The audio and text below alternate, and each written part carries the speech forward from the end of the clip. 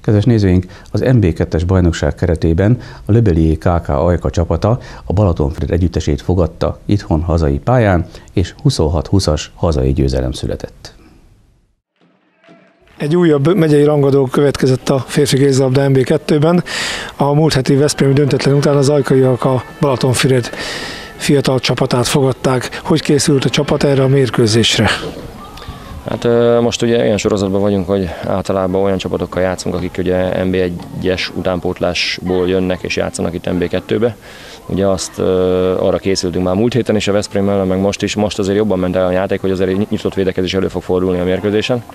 Hál' Istennek egy-két dolgot meg tudtunk most már oldani, reméljük, hogy ezek majd később leülepednek, és jövőre majd úgy tudjuk elővenni, hogy már egy kicsit rutinból is megy talán. Tehát ezek még új dolgok voltak, mert a tavalyi bajnokságban is előfordult az, hogy meglepődtünk egy ilyen védekezéssel szemben, meg azt mondom, hogy még Veszprémbe is, tehát ott se tudtuk kihasználni, megakadt egy kicsit a támadójátékunk. Itt is volt ilyen, aztán amikor megbeszéltük azt, hogy mit kell csinálni, illetve a játékosok a pályán megbeszéltek, utána már előttünk belőle könnyű gólt is, tehát ezt ugye játékosoknak is együtt kell a játékkal a pályán, tehát mindegy, hogy kinek jut eszébe, ezt meg kell oldani a pályán belül, tehát nem lehet mindig a, a kintről várni segítséget.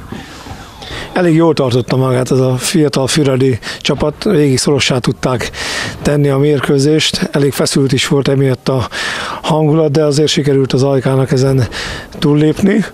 Ez hogy látod a kispadról?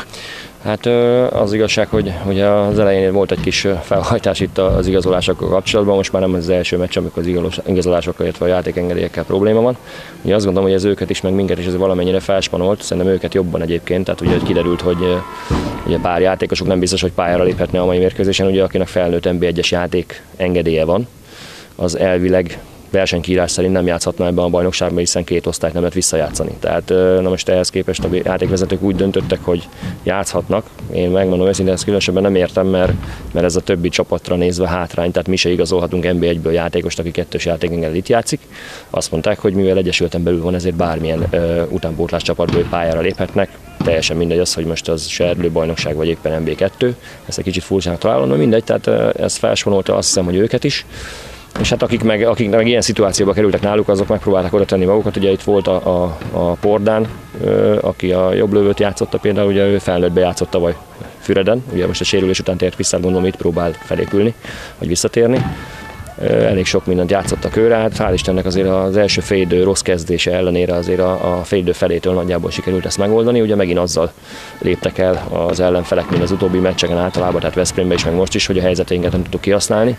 Ugye itt volt négy gyors indulás, illetve kihagyott hetesünk volt, meg lőttünk két sáncot, ugye megfogta a kapus, akkor, akkor nem lőttük belövőből a, az ígyszer, nem oda lőttük, vagy nem úgy lőttük, hogy kellett volna, abból indultak, tehát itt volt négy zsinórban négy indulásgól, amiből ugye el tudtak menni. És ugye ez ott az elején a különbséget, hát ezt kellett ledolgoznunk, most már ugye mérkőzésre mérkőzésre ez van. Azt gondolom, hogy ez, az ez egy dolog, amiben még javulnunk kell, mert azért azt lehet látni, hogy a védekezésünk azért az utóbbi pár meccsen azért javult. Tehát ugye Veszprémben is 22 gól kaptunk csak, illetve most is, ha ezt az elejét leszámítjuk, ugye most is 20-nál megállt az ellenfél, és az elején azt gondolom, hogy tehát még a kapusaink se védtek annyi, olyan jól, mint a végén, ahogy a Norbi visszaszállt a meccsbe, a második fél volt már egy jobb teljesítmény nyújtott, tehát az is kellett hozzá a győzelemhez. Meg hát többé-kevésbé próbáltam mindenkit a pályára tenni, hogy hozzá tudjon tenni a játékunk, az nem mindenkinél sikerül, de azt gondolom, hogy most mivel nyertünk, ezt nem kell megmagyarázni.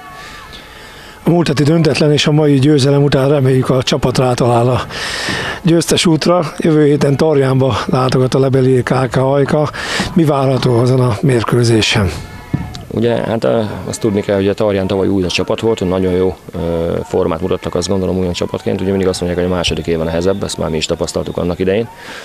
Uh, idén nem kezdtek olyan jól, ettől függetlenül, ugye mivel idegenben megyünk, az nagyon nehéz meccs lesz, tehát egy, egy rutinos társaság, el, azzal ellentétben, hogy ugye játszanak náluk Tatabányáról vissza, ha jól tudom, nem tudom, még ott vannak-e. Ugye kettős játékengedély, ez majd kiderül, tehát ott a mérkőzésre ki fog derülni. Tehát tavaly egy nagyon jó teljesítmény nyújtottunk, ott úgy tudtunk ott nyerni, illetve itthon is megvertük őket, de ez nem jelent semmit, mert ugye a tabella azt mutatja, hogy a utolsó előtti Komáromtól is ki tudtunk kapni a második fordulóba, tehát igazából itt senki ellen nem lehet biztosra menni.